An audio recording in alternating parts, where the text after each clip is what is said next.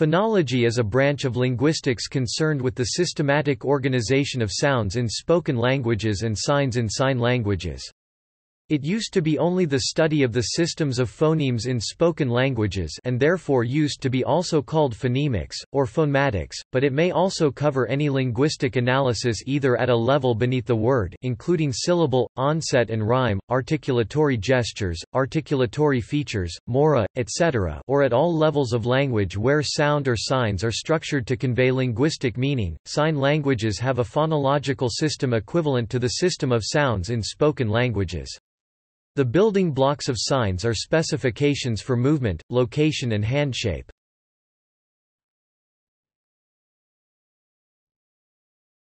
Topic: Terminology. The word phonology as in the phonology of English can also refer to the phonological system, sound system of a given language. This is one of the fundamental systems which a language is considered to comprise, like its syntax, its morphology and its vocabulary. Phonology is often distinguished from phonetics. While phonetics concerns the physical production, acoustic transmission and perception of the sounds of speech, phonology describes the way sounds function within a given language or across languages to encode meaning. For many linguists, phonetics belongs to descriptive linguistics, and phonology to theoretical linguistics, although establishing the phonological system of a language is necessarily an application of theoretical principles to analysis of phonetic evidence. Note that this distinction was not always made, particularly before the development of the modern concept of the phoneme in the mid-20th century. Some subfields of modern phonology have a crossover with phonetics in descriptive disciplines such as psycholinguistics and speech perception, resulting in specific areas like articulatory phonology or laboratory phonology.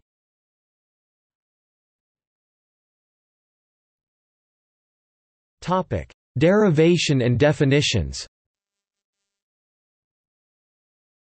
The word phonology comes from ancient Greek phone, phone, voice, sound, and the suffix logi which is from Greek logos, logos, word, speech, subject of discussion. Definitions of the term vary.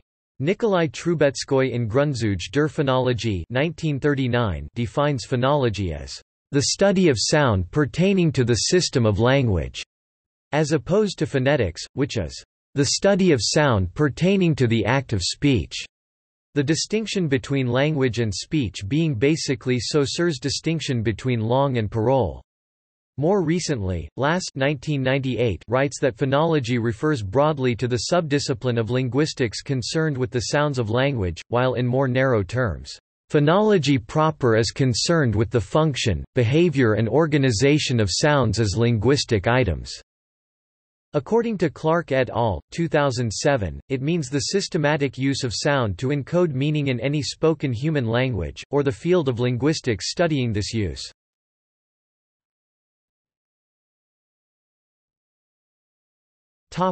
History Early evidence for a systematic study of the sounds in a language appears in the 4th century BCE Ashtadhyayi, a Sanskrit grammar composed by Panini. In particular the Shiva Sutras, an auxiliary text to the Ashtadhyayi, introduces what may be considered a list of the phonemes of the Sanskrit language, with a notational system for them that is used throughout the main text, which deals with matters of morphology, syntax and semantics. The study of phonology as it exists today is defined by the formative studies of the 19th-century Polish scholar Jan Baudouin de Courtenay, who together with his students Mikolaj Kruszewski and Lev Shcherba shaped the modern usage of the term phoneme in a series of lectures in 1876–1877. The word phoneme had been coined a few years earlier in 1873 by the French linguist A. de Friche Desgenets. In a paper read at the 24 May meeting of the Société de linguistique de Paris, de Friche Desgenets proposed that phoneme serve as a one-word equivalent for the German Sprachlaut. Baudouin de Courtenay's subsequent work, though often unacknowledged, is considered to be the starting point of modern phonology. He also worked on the theory of phonetic alternations what is now called allophony and morphophonology, and may have had an influence on the work of Saussure according to E. F. K. Koerner. An influential school of phonology in the interwar period was the Prague School. One of its leading members was Prince Nikolai Trubetskoy, whose Grundzüge der Phonologie Principles of Phonology, published posthumously in 1939, is among the most important works in the field from this period. Directly influenced by Baudouin de Courtenay, Trubetskoy is considered the founder of morphophonology, although this concept had also been recognized by de Courtenay. Trubetskoy also developed the concept of the archiphoneme. Another important figure in the Prague school was Roman Jakobson, who was one of the most prominent linguists of the 20th century.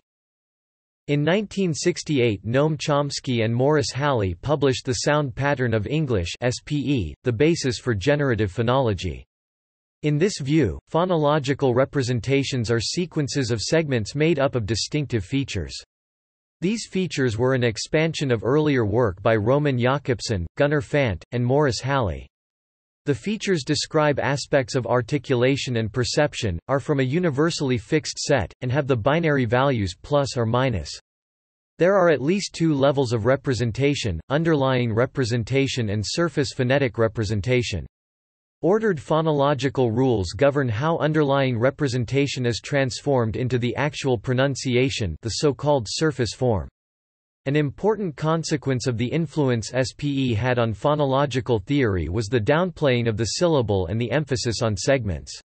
Furthermore, the generativists folded morphophonology into phonology, which both solved and created problems. Natural phonology is a theory based on the publications of its proponent David Stampe in 1969 and more explicitly in 1979. In this view, phonology is based on a set of universal phonological processes that interact with one another, which ones are active and which are suppressed as language-specific. Rather than acting on segments, phonological processes act on distinctive features within prosodic groups. Prosodic groups can be as small as a part of a syllable or as large as an entire utterance. Phonological processes are unordered with respect to each other and apply simultaneously though the output of one process may be the input to another. The second most prominent natural phonologist is Patricia Donegan Stampe's wife. There are many natural phonologists in Europe, and a few in the US, such as Jeffrey Nathan. The principles of natural phonology were extended to morphology by Wolfgang U. Dressler, who founded natural morphology. In 1976, John Goldsmith introduced autosegmental phonology. Phonological phenomena are no longer seen as operating on one linear sequence of segments, called phonemes or feature combinations, but rather as involving some parallel sequences of features which reside on multiple tiers. Autosegmental phonology later evolved into feature geometry, which became the standard theory of representation for theories of the organization of phonology as different as lexical phonology and optimality theory. Government phonology, which originated in the early 1980s as an attempt to unify theoretical notions of syntactic and phonological structures, is based on the notion that all languages necessarily follow a small set of principles and vary according to their selection of certain binary parameters. That is, all languages' phonological structures are essentially the same, but there is restricted variation that accounts for differences in surface realizations. Principles are held to be inviolable, though parameters may sometimes come into conflict. Prominent figures in this field include Jonathan Kaye, Jean Lowenstamm, Jean Roger Vergnaud, Monique Charette, and John Harris. In a course at the LSA Summer Institute in 1991, Alan Prince and Paul Smolensky developed optimality theory, an overall architecture for phonology according to which languages choose a pronunciation of a word that best satisfies a list of constraints ordered by importance. A lower ranked constraint can be violated when the violation is necessary in order to obey a higher ranked constraint. The approach was soon extended to morphology by John McCarthy and Alan Prince, and has become a dominant trend in phonology. The appeal to phonetic grounding of constraints and representational elements e.g. features in various approaches has been criticized by proponents of substance-free phonology, especially by Mark Hale and Charles Reiss. An integrated approach to phonological theory that combines synchronic and diachronic accounts to sound patterns was initiated with evolutionary phonology in recent years.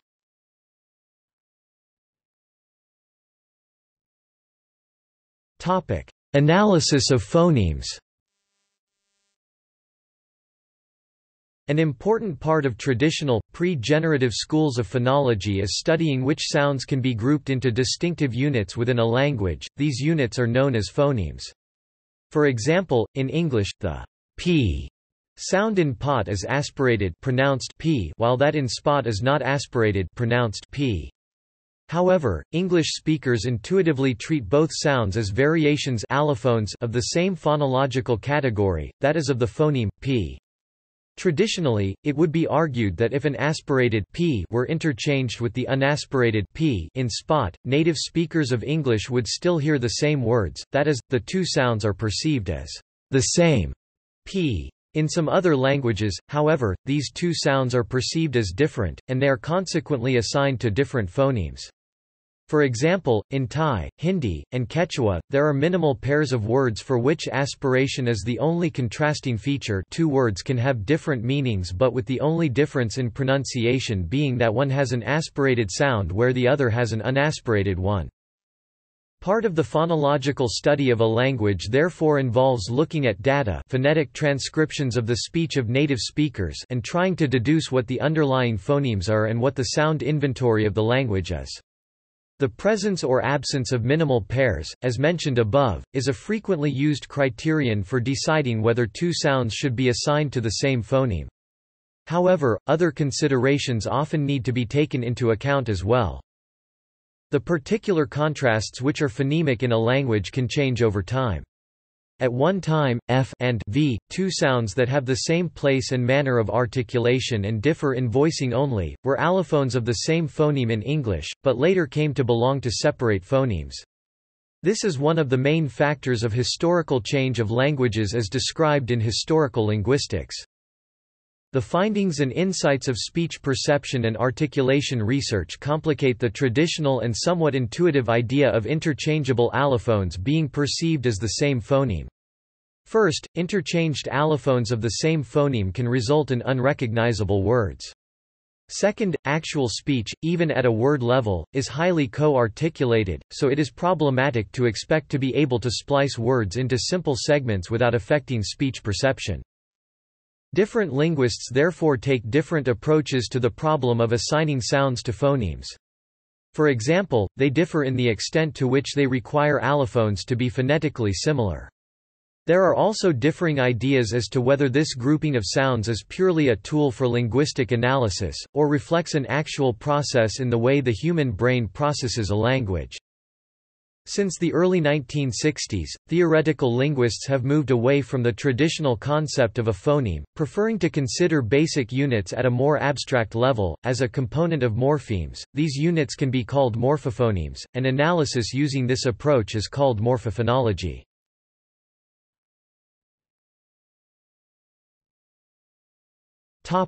Other topics in phonology In addition to the minimal units that can serve the purpose of differentiating meaning the phonemes, phonology studies how sounds alternate, i.e. replace one another in different forms of the same morpheme allomorphs, as well as, for example, syllable structure, stress, feature geometry, and intonation. Phonology also includes topics such as phonotactics the phonological constraints on what sounds can appear in what positions in a given language and phonological alternation how the pronunciation of a sound changes through the application of phonological rules, sometimes in a given order which can be feeding or bleeding, as well as prosody, the study of suprasegmentals and topics such as stress and intonation. The principles of phonological analysis can be applied independently of modality because they are designed to serve as general analytical tools, not language-specific ones. The same principles have been applied to the analysis of sign languages see phonemes in sign languages, even though the sublexical units are not instantiated as speech sounds.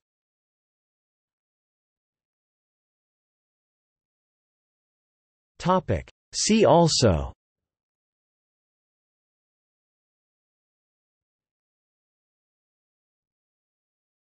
Topic Notes Topic Bibliography Anderson, John M., and Ewan, Colin J. 1987. Principles of Dependency Phonology. Cambridge, Cambridge University Press. Bloch, Bernard 1941.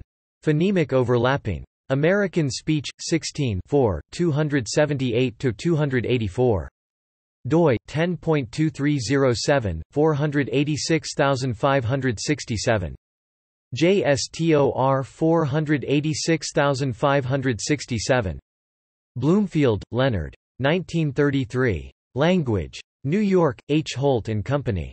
Revised version of Bloomfield's 1914 An Introduction to the Study of Language. Brentari, Diane 1998. A Prosodic Model of Sign Language Phonology. Cambridge, Massachusetts, MIT Press. Chomsky, Noam. 1964. Current Issues in Linguistic Theory. In J. A. Fodor and J. J. Katz eds, The Structure of Language, Readings in the Philosophy Language pp. 91–112. Englewood Cliffs, N. J., Prentice Hall. Chomsky, Noam, and Halle, Morris. 1968. The Sound Pattern of English. New York, Harper and Row. Clements, George N. 1985. The Geometry of Phonological Features. Phonology Yearbook. 2-225-252. doi 10.1017 S0952675700000440. Clements, George N., and Samuel J. Keyser. 1983. CV Phonology, A Generative Theory of the Syllable. Linguistic Inquiry Monographs No. 9. Cambridge, Massachusetts, MIT Press. ISBN 0-262-53047-3 PBK, ISBN 0-262-03098-5 HBK, DeLacy, Paul, ed. 2007. The Cambridge Handbook of Phonology. Cambridge University Press. ISBN 978-0-521-84879-4. Retrieved 8 January 2011. Donegan, Patricia. 1985. On the Natural Phonology of Vowels. New York, Garland. ISBN 0-8240-5424-5. Firth, J. R. 1948. Sounds and Prosodies. Transactions of the Philological Society. 47 1, 127–152. doi 10.1111 j 1467 968 extension 1948 TB00556 X. Gilbers, Dickey, De Hoop, Helen 1998 Conflicting Constraints An Introduction to Optimality Theory. Lingua. 104 1 2 1 12 doi 10.1016 S0024384197-00021-1. Goldsmith, John A. 1979. The Aims of Autosegmental Phonology. In D. A. Dinnsen ed., Current Approaches to Phonological Theory pp. 202–222. Bloomington, Indiana University Press.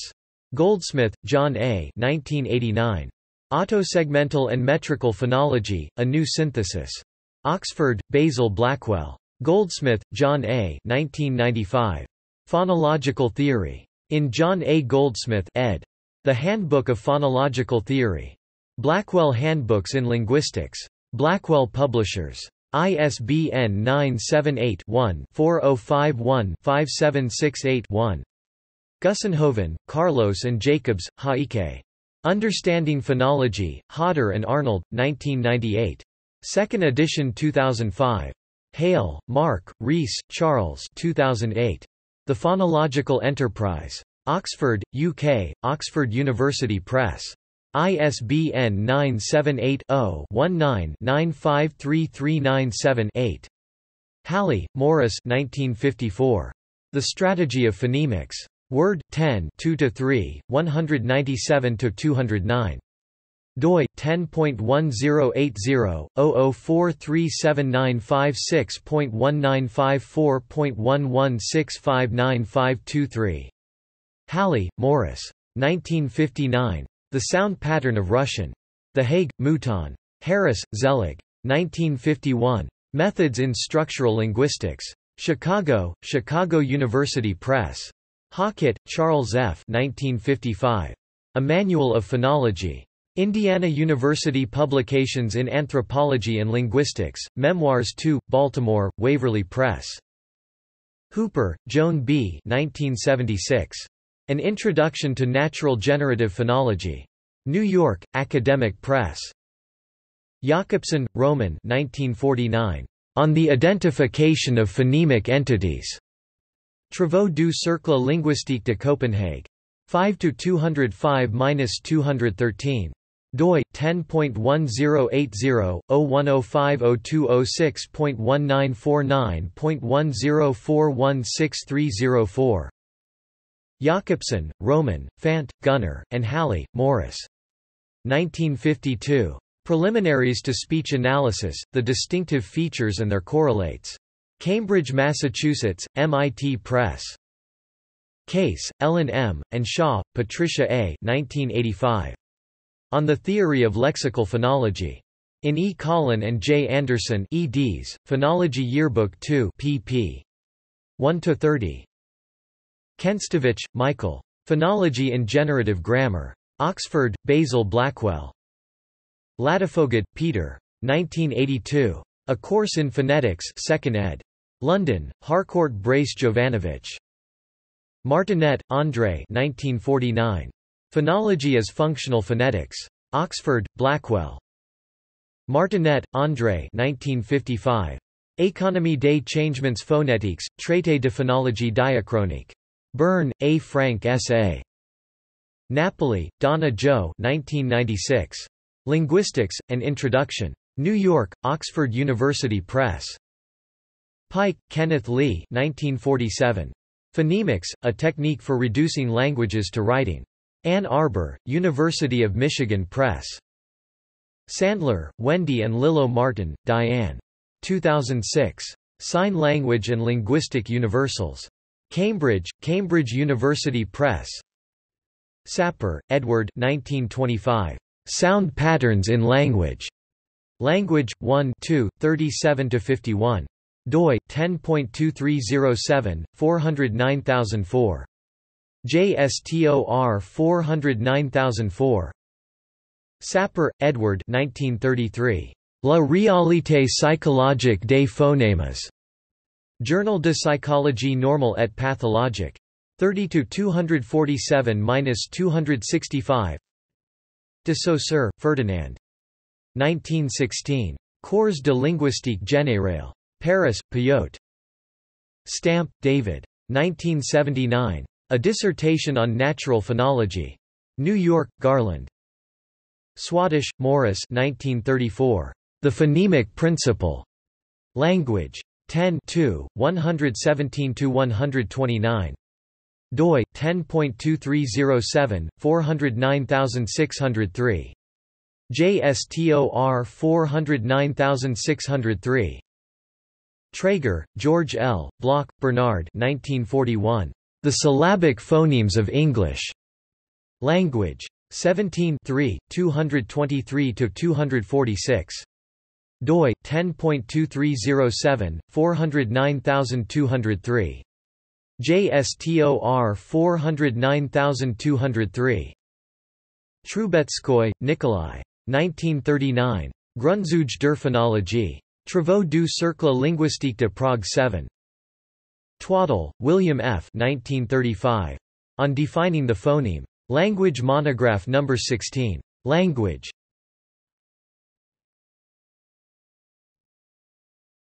Topic. External links